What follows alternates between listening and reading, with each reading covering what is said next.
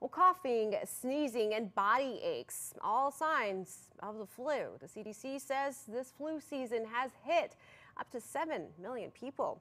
And that impact is registering pretty big here in Missouri. Missouri Department of Health and Senior Services say more than 630 deaths from pneumonia and influenza have been reported since October. Doctors say the flu shot seems to be stopping the flu from becoming as widespread like it has in the past. The CDC recommends flu vaccinations and also lots and lots of hand washing.